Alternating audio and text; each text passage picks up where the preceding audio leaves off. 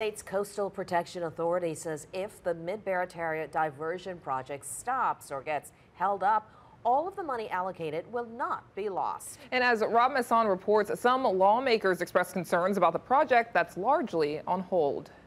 With work on a $3 billion mid Barataria Bay diversion project tied up in litigation, state lawmakers worry about coastal protection. These funds are so difficult to come by, and we finally got them.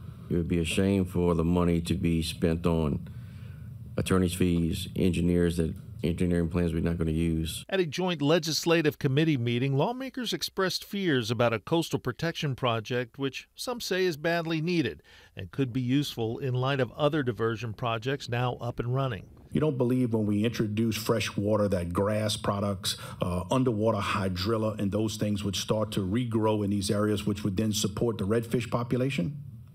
It would, but it could kill it because with the Mississippi River, you get, get invasive species. The head of the CPRA hopes a compromise agreement will be worked out in 45 days, which could restrict the flow of the river from the mid Barataria diversion. It could also ease seafood impacts, which some say are being experienced in other sections where the river has been allowed to flow freely, like Neptune Pass on the East Bank. There's no brown shrimp there. there as far as I know, there's no one shrimping that area or oyster fish in that area. Due to legal challenges, major portions of the Mid Barataria project are on hold as some move forward. We're moving forward with a lot of Plaquemines that that things that President Hinkley and, and Plaquemines Parish that already we were we were going to do anyway. One is the land bridge. It's 23 miles uh, long. 27, 2,700 feet wide.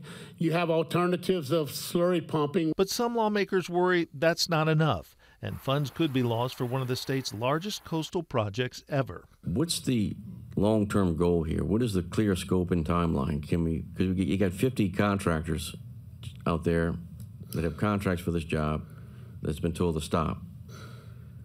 They're in limbo. Some lawmakers expressed concerns that they're not being apprised of progress in litigation now delaying the project. But CPRA Chairman Gordon Dove says he's keeping Governor Jeff Landry in the loop. Rob Masson, Fox 8 Local First.